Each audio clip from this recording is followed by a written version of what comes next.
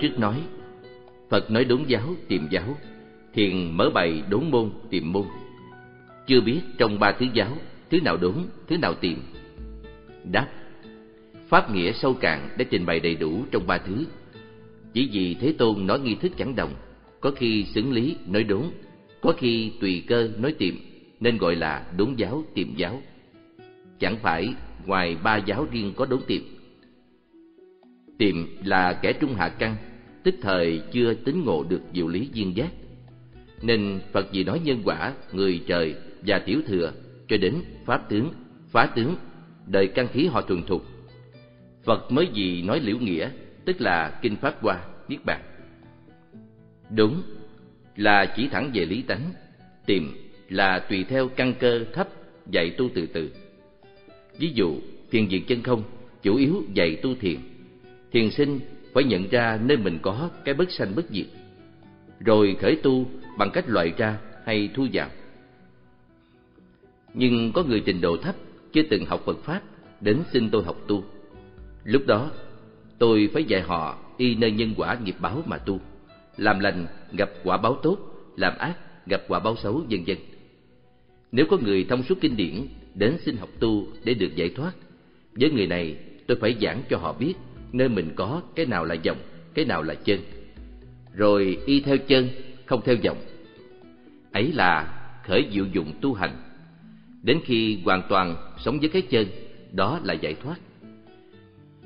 Tùy theo căn cơ, người thấp phải nói thấp như trình độ họ tu từ từ. Người căn cơ cao thì nói cao. Nói thấp là tùy phương tiện, nói cao là hợp lý tánh. Đức Phật cũng vậy, vì trình độ người học đạo không đồng, Nên kinh điển nói ra cũng sai biệt. Đúng, lại có hai. Một, theo cơ đúng. Hai, quá nghi đúng. Một, theo cơ đúng. Gặp kẻ phàm phu thường căn lợi trí, Phật chỉ thẳng chân Pháp. Kia nghe liền đốn ngộ toàn đồng Phật giả. Như trong Kinh Quan Nghiêm, Khi mới phát tâm liền được A Nậu Bồ Đề. Trong Kinh viên Giác khi quán hành thành liền thành Phật đạo, nhưng mới đồng hành môn. Trong hai giáo trước, dần dần trừ diệt phàm tập, dần dần tìm hiển bài thánh đức. Như gió kích động biển cả nổi sóng, không thấy hình bóng dạng tường. Nếu gió dừng nhanh, đúng thì sóng dần dần tìm lặng. Hình bóng dần dần hiển bày. Loại này là một phần kinh hoa nghiêm, Phật đảnh, mật nghiêm, thắng mang, như lai tạng cả thảy hơn hai mươi bộ kinh. Gặp cơ liệt nói, không định trước sau, cùng thiền môn, tông chỉ thẳng tâm tánh. Thứ ba, hoàn toàn đồng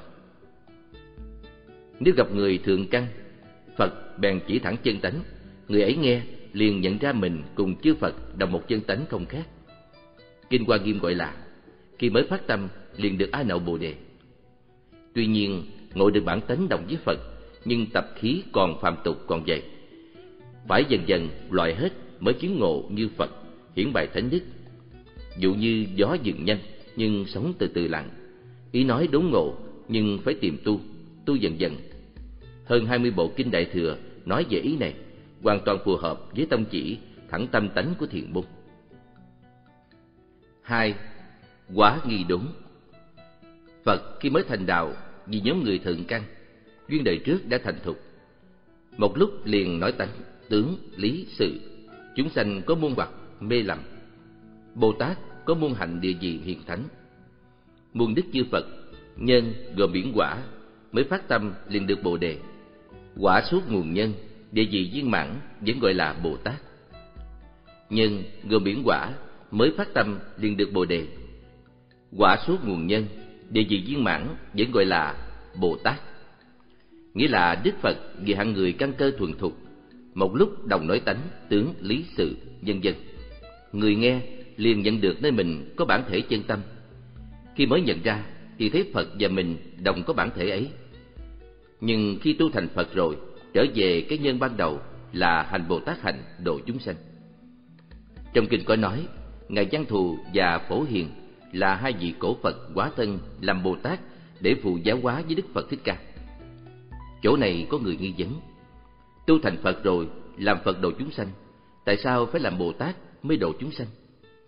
Đa số người phát tâm tu là thấy làm chúng sanh khổ quá, mong tu để được thành Phật, hưởng niết bàn an vui. Như vậy là niềm hưởng lạc vẫn còn. Để phá quan niệm ích kỷ hẹp hòi đó, trong các kinh Đại Thừa, Phật mới dạy, chúng sanh phát tâm tu, khi thành Phật rồi trở lại làm Bồ Tát để độ chúng sanh, để cho chúng ta thấy rằng mục tiêu cứu cánh của chư Phật là vì thấy chúng sanh mê muội khổ sở. Các ngài mong tu thành Phật để quá độ họ hết khổ, chứ không phải tu thành Phật để thụ hưởng an lạc riêng mình. Phàm phu chúng ta thường có quan niệm ích kỷ, thấy tượng Phật thờ trên bàn được người ta cúng lạy. Nên khi phát tâm tu, cũng muốn tu mau đắc quả Phật để được sung sướng như Ngài. Nhưng nếu còn niềm thụ hưởng sung sướng là còn ích kỷ, còn ích kỷ thì biết bao giờ mới thành Phật để cho người tôn kính.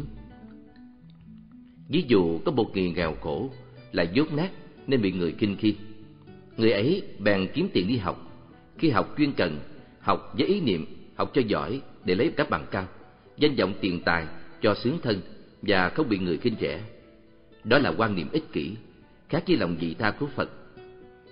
Cũng có người khác thấy mình dốt, mọi người chung quanh mình dốt, bèn kiếm tiền đi học. Khi học chăm chỉ, học với ý niệm rằng học cho giỏi, và khi học xong đem sự hiểu biết của mình hướng dẫn những người chung quanh cho họ hết dốt, hết khổ như mình. Khi học xong, người ấy mau ra làm lợi ích cho người, chứ không nghĩ đến sự sung sướng riêng bản thân. Như vậy, cái học ấy là không phải vì mình mà vì người khác. Đó là quan niệm vị tha chân chính. Cũng vậy, nếu tu còn mong thành Phật để được người khác cung kính giái lại, thì ích kỷ quá. Vì vậy chúng ta nên hiểu thâm ý trong kinh Phật dạy. Thành Phật rồi, hiện thân Bồ Tát độ chúng sanh, là vì thương chúng sanh mê muội trầm luân mà lăn lộn trong sinh tử, cứu độ họ, chứ không chấp nhận ở địa vị an hưởng vui sướng. Đó là quan niệm cao siêu chân chính của người tu.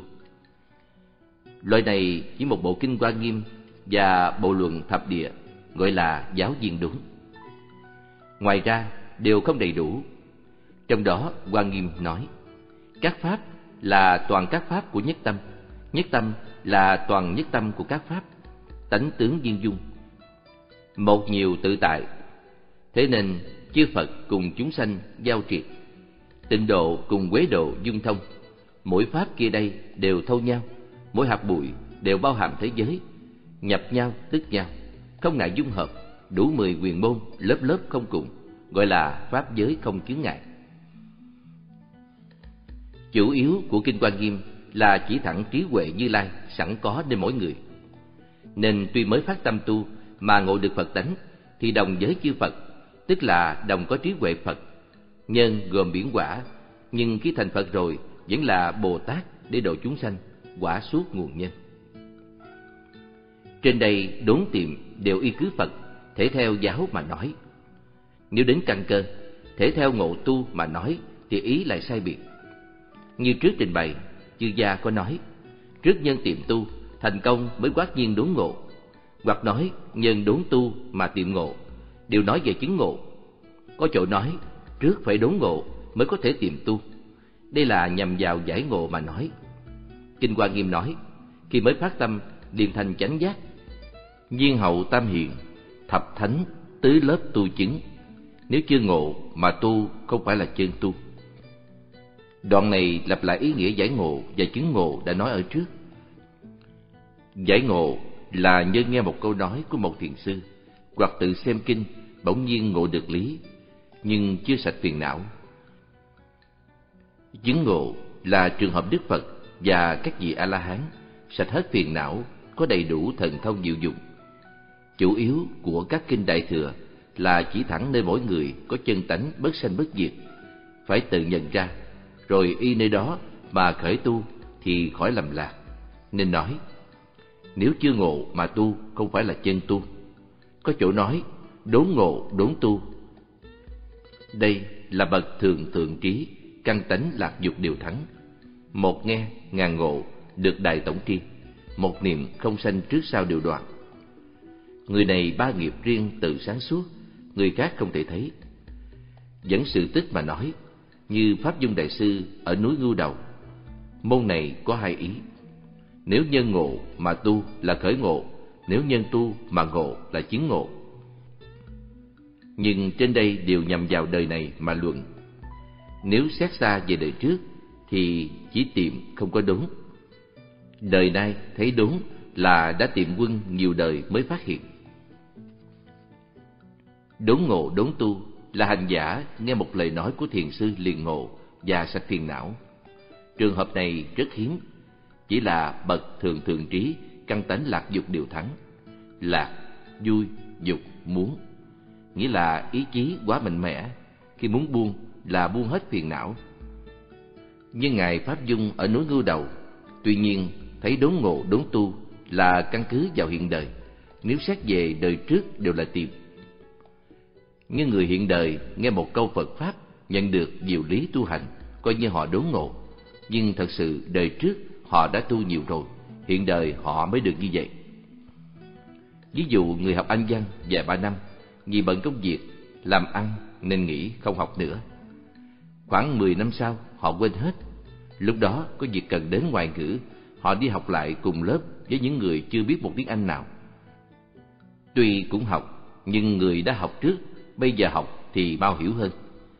Mau đối với hiện tại, nhưng so với thời gian trước thì họ đã chậm rồi. Chúng ta học Phật cũng vậy, không nên so sánh hơn thua.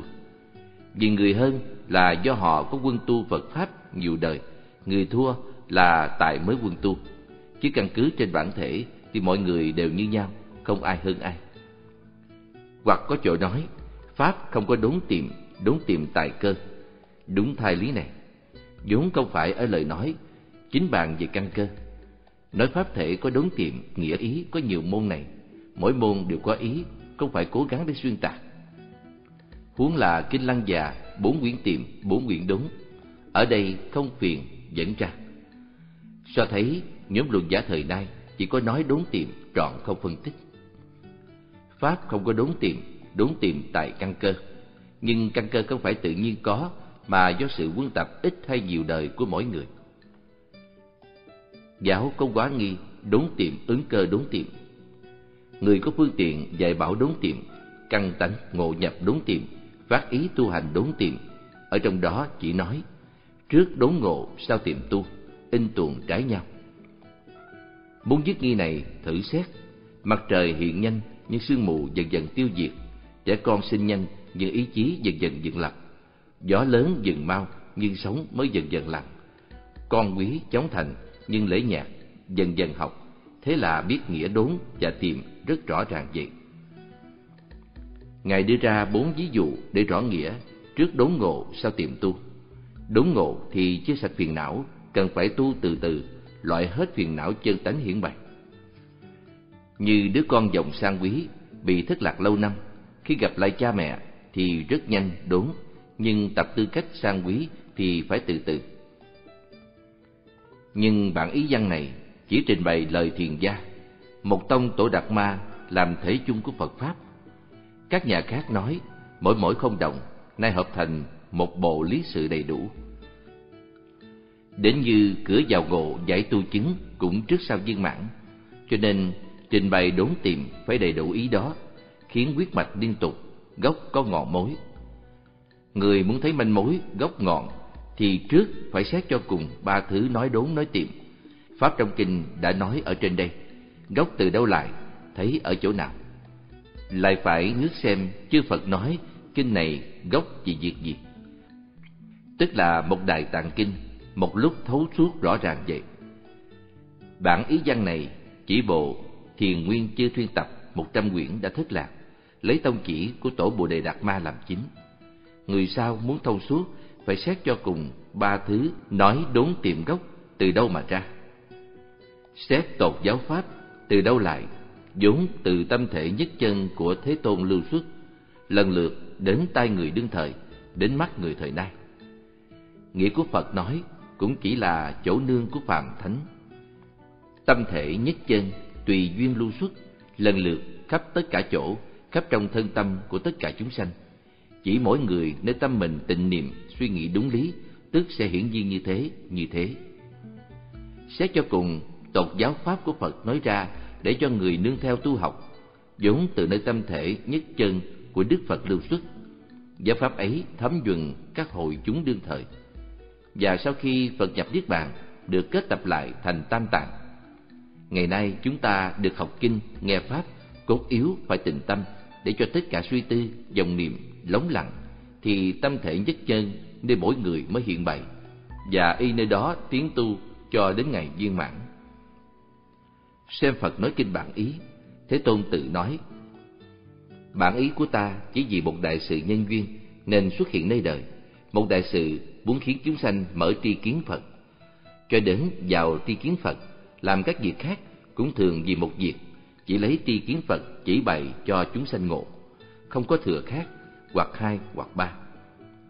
Pháp của mười phương chư Phật cũng như thế. Tuy dùng phương tiện vô lượng vô số, các thứ nhân duyên, thí dụ lời lẽ vì chúng sanh diễn nói các pháp, pháp ấy đều là một Phật thừa. Bản ý nói kinh của Đức Phật là chỉ cho chúng ta nhận ra nơi mình có tri kiến Phật, đó là mục tiêu chính yếu. Dù Phật có nói pháp gì đi nữa, cũng đưa người đến chỗ cứu cánh đó. Khi nhận ra nơi mình có Phật tánh, mới tin mình có khả năng thành Phật mà nỗ lực tiến tu. Giả lại, với tâm từ bi rộng lớn, muốn cho tất cả chúng sanh cũng thành Phật như Ngài, nên trước hết, Ngài chỉ chính nhân thành Phật là chân tâm, Phật tánh dân dân, sẵn có nơi mỗi người. Cho nên, ta ở dưới cội Bồ Đề khi mới thành chánh giác, khắp thấy tất cả chúng sanh đều thành chánh giác, cho đến thấy tất cả chúng sanh đều vào Niết Bàn, khắp thấy tất cả chúng sanh ở trong tham, sân si, các thứ phiền não có thần trí như lai, thường không ô nhiễm, đức tướng đầy đủ. Không một chúng sanh nào mà không có đủ trí huệ như lai, chỉ do vọng tượng chấp trước nên không chứng được. Ta muốn dạy dùng thánh đạo khiến họ hằng lìa vọng tưởng, ở trong thân mình thấy được trí huệ rộng lớn như lai, như ta không khác. Bèn vì những chúng sanh này nơi bồ đề tràng xứng với pháp giới rộng lớn, diễn nói dàn hành nhân qua để trang nghiêm bản tánh, khiến thành dạng đức Phật quả. Kia có người kiếp xưa cùng ta đồng gieo căn lành, từng được ta ở trong kiếp hải dùng pháp tứ nhiếp để nhiếp thọ mới thấy được thân ta. Liền đều tin nhận vào Huệ Như Lai, cho đến trong rừng Thệ Đa. Ta nhập tầng thân tam muội đại chúng đều chứng pháp giới, trừ những người trước tu tập tiểu thừa và đắm chìm trong nước tham ái. Chúng sanh như thế, các căn ám độn si mê làm mù, khó có thể độ thoát. Sau khi Đức Phật thành đạo, Ngài thấy tất cả chúng sanh đều có khả năng thành Phật như Ngài, nhưng do vọng tưởng che lấp nên không chứng được. Vì lòng từ bi rộng lớn, Ngài bèn mở phương tiện dạy chúng sanh xa lìa vọng tưởng chấp trước, sống với trí huệ như lai. Những người sâu trồng căn lành có duyên với Phật đều chứng được, trừ những người trước tu tập tiểu thừa và đắm chìm trong tham ái. Sở dĩ người tu theo tiểu thừa không chứng được quả Phật, vì quả cao nhất của tiểu thừa là A-la-hán, mà A-la-hán thì sạch vọng tưởng chứ chưa ngộ được pháp thân. Nên nói hàng nhị thừa không tin có Phật quả, tức là không tin rằng mình có khả năng thành Phật. Ngài giải thích chữ Hoa Nghiêm. Hoa là dạng hành của Bồ Tát, là nhân, quả là dạng đức của chư Phật. Nhân Bồ Tát tu dạng hành mà được quả thành dạng đức của chư Phật. Lấy muôn hạnh của Bồ Tát mà trang nghiêm Phật quả, như vậy muốn thành Phật là phải tu hạnh Bồ Tát, còn tu theo nhị thừa thì chỉ chứng A-la-hán. Ta hai mươi 21 ngày suy nghĩ việc này, nếu chỉ khen ngợi Phật thừa, kia ác chìm trong biển khổ, chê bai không tin, chống vào đường ác. Nếu dùng tiểu thừa giáo hóa cho đến một người, ta liền xa vào sang tham. Việc này không nên, tiếng thối, khó tính. Bèn nhớ lại sức phương tiện đã làm của chư Phật đời quá khứ. Biết chư Phật quá khứ đều dùng tiểu thừa dẫn dụ, nhiên hậu khiến vào nhất thừa cứu cánh. Ta này đắc đạo cũng nên nói ba thừa. Khi ta suy nghĩ như thế, mười phương chư Phật đều hiện lời trong nhã an ủi ta. Lành thay thích ca văn, vị đạo sư bậc nhất được pháp vô thượng, theo tất cả chư Phật mà dùng sức phương tiện. Ta nghe an ủi rồi, tùy thuận ý chư Phật, mới đến nước Ba La Nại chuyển bến xe pháp tứ đế, độ năm người kiều trần như. Dần dần các chỗ cho đến ngàn muôn. Vì người cầu duyên giác nói mười hai nhân duyên, vì người cầu đại thừa nói sáu pháp ba la mật. Khoảng giữa là vì nói bát nhã ba la mật rất sâu, gạn lọc hạng tinh văn như trên tiến đến Bồ Tát nhỏ. Dần dần ta thấy căn cơ họ thuần thục, bèn ở trên núi Linh Thú mở bài tri kiến Như Lai, khắp cả đều được thọ ký vô thượng chánh đẳng giác. Hiển bài pháp thân tam thừa, bình đẳng vào đạo nhất thừa. Đoạn này trích trong kinh Pháp Hoa, phẩm phương tiện. Sau khi Đức Phật thành đạo, tuy Ngài thấy tất cả chúng sanh đều có tánh giác và có thể tu thành Phật như Ngài. Nhưng vì vọng tưởng che lấp nên ám độn ngu si, cứ chạy theo cái hư vọng bên ngoài, quên mất tánh giác của mình. Nếu Ngài đem chỗ chứng đắc quá sâu xa khó thấy, khó hiểu của Ngài nói ra thì chúng sanh không tin.